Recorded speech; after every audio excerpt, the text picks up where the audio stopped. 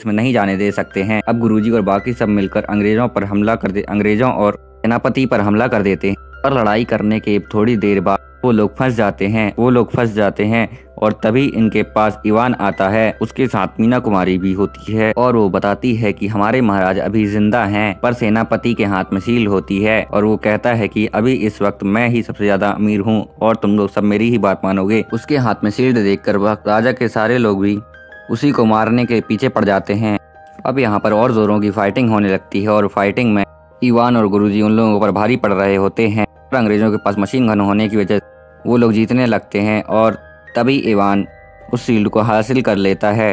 पर फाइटिंग में मीना कुमारी और गुरुजी घायल हो जाते हैं। गुरुजी ईवान को बचाने के चक्कर में गोली खा जाते हैं।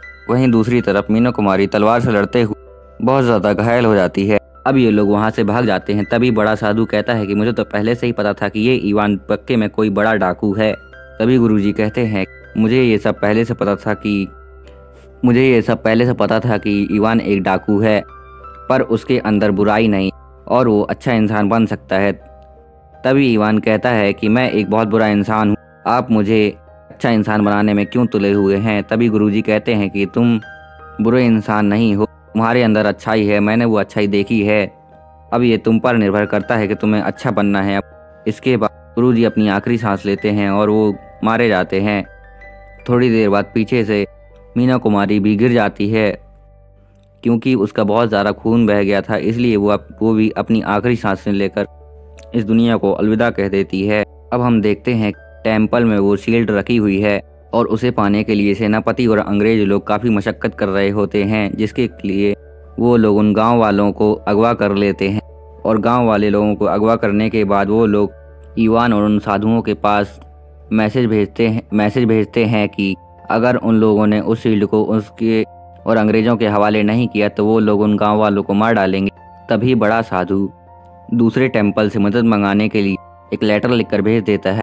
पर ईवान को पता था कि वो लोग शील्ड मिल जाने के बाद भी उन गाँव वालों को नहीं छोड़ेंगे और उन लोगों को मार डालेंगे।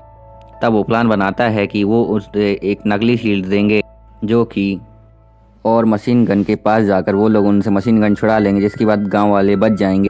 उसके बाद ईवान सील लेकर अंग्रेज़ों और सेनापति के पास जाता है। वो अंग्रेज़ों और सेनापति को सील देने वाला होता है, पर ईवान को सेनापति के बारे में पहले से पता था कि वो किसी को भी ज़िंदा नहीं छोड़ेगा। इसीलिए अब वहाँ पर फाइट शुरू हो जाती है। और वो लोग मशीन गन से गाँव वालों को मारने लगते हैं। तभी ईवान और उसके तीनों साधु मिलकर फाइट करने लगते हैं और फाइट करते करते वो लोग हारने लगते हैं। बहुत सारे गाँव वालों का खून बहने लगता है। तभी ईवान और सेनापति फाइट करने लगते हैं। फाइट करने के बाद ही थोड़ी देर बाद दूसरे टेंपल के साधु भी वहाँ पर आ जाते हैं और वो लोग भी सब साथ में मिलकर फाइट करने लगते हैं। हम देखते हैं कि ये जंग ईवान और साधु जीत जाते हैं। पर सेनापति और वो अंग्रेज़ ऑफिसर वहाँ अब साधु लड़का कहता है कि वो उन लोगों को, हमें उन लोगों को ज़िंदा नहीं छोड़ना चाहिए। तब ईवान कहता है कि हमें गुरुजी की बातों पर ध्यान देना चाहिए।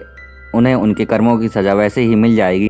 अब हम देखते हैं कि ईवान एक साधु बन गया है और वो मंदिर में टेंपल की रक्षा करता है और वो गुरु जी के बताए हुए दिशा निर्देशों पर चलता है। इसके बाद हम देखते हैं कि वही अंग्रेज़ ऑफिसर और सेनापति अपने सीनियर के पास जाते हैं, जहाँ पर वो उसे बताते हैं कि साधुओं ने, गाँव के साधुओं ने मिलकर, गाँव के साधुओं ने मिलकर हमारा ऐसा हल कर दिया और हमें मारकर भगा दिया। अभी हम देखते हैं कि इससे पहले जिस अंग्रेज़ ऑफिसर को, उस अंग्रेज़ ऑफिसर ने मार मार दिया था, वो असल में ज़िंदा था और वो उन दोनों को गोली मार देता है, वो उन दोनों को गोली मार देता है। इसके बाद हम देखते हैं कि ये मूवी यहीं पर ख़त्म हो जाती है। दोस्तों, अगर आपको ये मूवी अच्छी लगे तो please like, share and comment कीजिएगा।